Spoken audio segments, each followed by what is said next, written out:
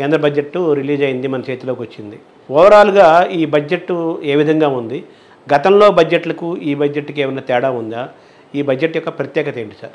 ఓవరాల్గా బడ్జెట్ ఎలా ఉన్నది అన్- అన్న క్వశ్చన్ ఇచ్చినప్పుడు ఫస్ట్ ఫస్ట్ నాకు వచ్చిన ఫీలింగ్ ఏమిటంటే ఆకలి కొన్నవాడు అన్నం ముందు పెడితే ఆవురావురుగా ఎలా తింటారో అలాగే ఈ బడ్జెట్ మోదీగా థర్డ్ టైం రాగానే ఏదో చేసేద్దామని ఆతృతగా వికసిత భారత్కి ఎలా వెళ్ళదాము అనే ఆతురతగా వచ్చినట్టు ఉందండి బడ్జెట్ ఫస్ట్. ఎందుకంటే ఆయన టచ్ చేసిన నైన్ సబ్జెక్ట్స్ నవరత్నాలు అండి తొమ్మిది పాయింట్లు టచ్ చేశారు.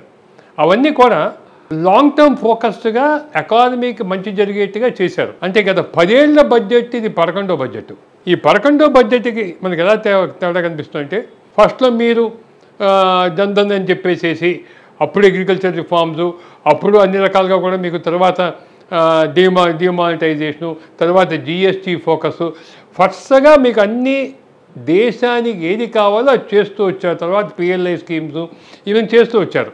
ఒకటి బేసిక్గా అప్పటికి ఈ బడ్జెట్కి తేడా ఏమిటంటే ఎకానమీ జీడిపి గ్రో అవుతే మనకి ఎంప్లాయ్మెంట్ వస్తుంది అని నమ్మారు ఆయన. ఈ సెంట్రల్ గవర్నమెంట్ ఎకానమీ గ్రో అవుతుంది. కానీ పబ్లిక్ స్పీచెస్లోకి చెప్పండి. కొంతమంది అడుగుతూ ఉంటారు అన్ఎంప్లాయ్మెంట్ ఇన్ని రోడ్లు వేస్తున్నాం ఇంత ఇండస్ట్రీ వస్తుంది ఎకానమీ ఇంత గ్రో అవుతుంది ఉద్యోగాలు దగ్గర అవుతాయి అందరికీ ఉద్యోగాలు వస్తున్నాయి అంటున్నారు. అది ఫ్యాక్ట్ ఫ్యాక్ట్ ఏమిటంటే గత పదేళ్ళుగా twelve point five crore jobs వచ్చాయండి. ఇంకొక ఫ్యాక్ట్ ఏమిటంటే జీడిపి తొమ్మిది శాతం last before last year last year ఏడు పాయింట్ రెండు ఈ సంవత్సరం ఇరవై మూడు ఇరవై నాలుగులో eight percent eight point two percent grow అయినా కూడా మీకు consumption only five percent growth అయింది. అంటే అంత జీడిపి గ్రో అయినప్పుడు కన్జంప్షన్ ఎందుకు గ్రో కాలేదు? కన్జంప్షన్ మనం రీటైల్గా మనం స్పెండ్ చేసేది. అంటే ఏమవుతుంది అర్థం? ఇదంతా ఖర్చు అయిపోతుంది. మీకు ఫైవ్ పర్సెంట్ ఫైవ్ పాయింట్ ఫోర్లో రీటైల్ ఇన్ఫ్లేషన్ ఉన్నా కూడా food inflation seven point five percent ఉంది. అంటే ఏమవుతుంది? ఇంత జాబ్ క్రియేషన్ అయినా కూడా ఈ జాబ్ క్రియేషను పది అనార్గనైజ్ సెక్టార్లో నెలకి పదివేలు పదిహేను వేలు ఇరవై వేలు ఇచ్చే శాలరీస్లో గ్రో అయింది. అండ్ సెల్ఫ్ ఎంప్లాయ్మెంట్ గ్రో అయింది. కానీ ఆర్గనైజ్ సెక్టార్లో గ్రో కాల? ఈ గ్రో అయిందంతా కూడా మీకు ఫుడ్ ఇన్ఫ్లేషన్లో పోతుంది. కానీ ఫుడ్ ఇన్ఫ్లేషన్ కంట్రోల్ చేద్దామని నేను ఫార్మర్స్కి తగ్గించామనుకోండి ఆల్రెడీ ఫార్మర్స్ డిస్ట్రెస్లో ఉన్నారు. సో వాళ్ళకి ఉపయోగం లేదు. So how to increase agriculture productivity is the first focus బడ్జెట్లో ఫస్ట్ నవరత్న ఫస్ట్ రత్నం ఆయన అగ్రికల్చర్ మీద మాట్లాడుతూ వస్తూ పల్సెస్ ఆయిల్స్ మనకి ఫెడిబుల్ ఆయిల్స్ ఇవి కొన్ని ప్రోడక్ట్స్ మీద ఫోకస్ చేస్తూ వచ్చారు. దానికి టెక్నాలజీ మిషన్ పెడతామని చెప్పి ఒక కోటి ఎకరాలు దీని కింద తీసుకొస్తామని చెప్పేసి తర్వాత న్యాచురల్ ఫార్మింగ్ తీసుకొస్తామని how to increase the productivity అని చెప్పి ఇవన్నీ soil testing digital soil so మొత్తం ఫోకస్ దానికి వచ్చింది. సో అంటే ఏమిటి? ఈ రోజున్న కన్సర్న్స్ని ఎలా అడ్రస్ చేయాలి? ఇంకోటి వాళ్ళు నమ్మింది ఏమిటి? జీడిపి గ్రో అయినా కూడా ఫార్మల్ ఎంప్లాయ్మెంట్ గ్రో అవ్వట్లేదు. ఇంత గ్రో అయినా కూడా వాళ్ళకి రియలైజేషన్ అనమాట అంతే కదా ఇంత గ్రో ఇంత ఎంప్లాయ్మెంట్ గ్రో అయినా కూడా కన్సంప్షన్ గ్రోత్ రావట్లేదు కదా. అంటే మామూలుగా ఏమంటారంటే కేవలం జీడిపి పెరుగుతోంది దాంతో మనం చప్పట్లు కొట్టుకోక్కర్లేదు.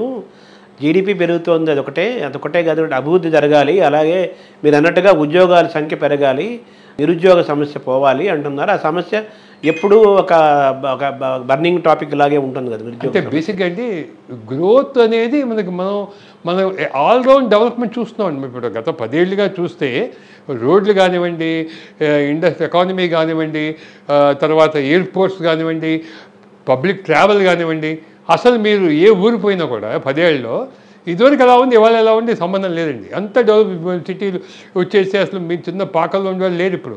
అందరికి ఇళ్ళు వచ్చేసి అన్నీ బాగున్నాయి. కాకపోతే ఇవన్నీ కూడా గవర్నమెంట్ స్పెండ్ చేయడం వల్ల డెవలప్మెంట్ వస్తుంది. పబ్లిక్ స్పెండింగ్ ప్రైవేట్ ఇన్వెస్ట్మెంట్ లేదు. ప్రైవేట్ కన్సంప్షన్ లేదు. ఎందుకని గ్రోత్ వచ్చింది మీకు అటల్ ప్రాబ మీకు లోయెస్ట్ పావర్టీ పోయింది. మీకు అటల్ పావర్టీ పోయింది. అంటే పావర్టీ పోయింది కానీ అన్ఎంప్లాయ్మెంట్ రేట్ సిక్స్ నుంచి త్రీ పాయింట్ టూకి తగ్గింది. అయినా కూడా ఎంప్లాయ్మెంట్ ఉన్న సాటిస్ఫాక్షన్ లేదు. ఎందుకని? ఎంప్లాయ్మెంట్ తక్కువ శాలరీ తక్కువ శాలరీ రేంజ్లో పెరిగింది. అందుకని ఎంప్లాయ్మెంట్ ఫోకస్ లేదనమాట. అది ఆ- సాటిస్ఫాక్షన్ లేదు. ఎంప్లాయ్మెంట్ వచ్చినా కూడా ఆ సాటిస్ఫాక్షన్ లేదు. మీరు అన్నట్లు ఏంటంటే జీడిపి పెరుగుతున్నప్పటికీ కూడా గవర్నమెంట్ సెక్టార్లో ఎంప్లాయ్మెంట్ జనరేట్ అవుతున్న ఆర్గనైజ్ సెక్టర్ ఆర్గనైజ్ సెక్టార్లో ఎంప్లాయ్మెంట్ జనరేషన్ పెరుగుతున్న పెరుగుతున్నప్పటికీ కూడా ఈ ప్రైవేట్ సెక్టార్లో కానీ మిగతా విధంగా చూస్తే కనిపించట్లేదు. అంటే ఎంప్లాయ్మెంట్ మీకు ఎయిటీ పర్సెంట్ గ్రోత్ అనార్గనైజ్డ్ సెక్టార్లో వచ్చింది.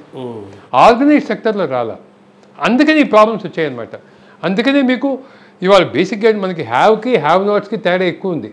చాలా దూరం పెరిగిపోతుంది కూడా. అని అంటాం మనం కానీ జినీ కోఎఫిషియన్ తగ్గుతుంది. జినీ కోఎఫిషియన్ అంటే డిఫరెన్స్ కింద వాళ్ళు పైకి వస్తున్నారు.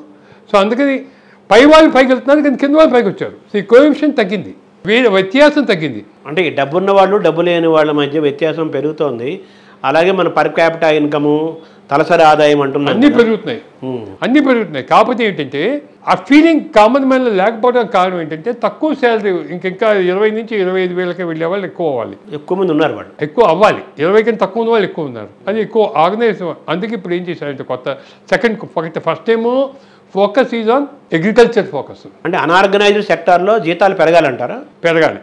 అందుకోసం ఇప్పుడు ఈ స్కీమ్స్ అన్ని ఈ స్కీమ్స్ అన్ని కూడా ఈయన నాలుగు రకాల ఐదు రకాల స్కీమ్స్ పెట్టారు ఎంప్లాయ్మెంట్లో ఒకటి ఏమిటి ఫస్ట్ ఫస్ట్ ఎంప్లాయ్మెంట్ రాగానే పదిహేను వేలు ఇస్తామని ఎవరికన్నా ఎవరు ఎంప్లాయ్ చేసుకుని ఐదు వేలు కాంపెన్సేట్ చేస్తామని అంటే ఏమిటి? మేము ఒక ఉద్యోగం తీసుకునేవాడు కూడా తక్కువ జీతం వచ్చి తీసుకుని వాడికి ఐదు వేలు వస్తుంది గవర్నమెంట్ నుంచి అని తీసుకుంటారు. అది ఈపీఎఫ్ఓలో ఎన్రోల్ అవ్వాలి.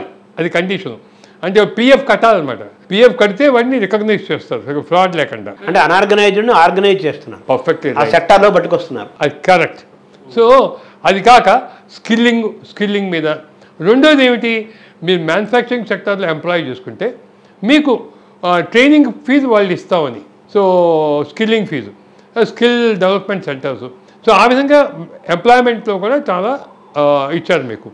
సో నా బేసిక్గా చేంజ్ ఎక్కడ వచ్చిందంటే ఇదివరకు ప్రొడక్షన్ లింక్డ్ ఇన్సెంటివ్స్ ఉండేవి. ఇప్పుడు ఎంప్లాయ్మెంట్ లింక్డ్ ఇన్సెంటివ్ స్కీమ్స్ వచ్చాయి. అదే అదే. సో సో కొత్త ఇన్సెంటివ్ ఇచ్చేవాడు నేను ఎంత ఎంప్లాయ్మెంట్ క్రియేట్ చేస్తున్నా నీకు డబ్బులు ఇస్తాను.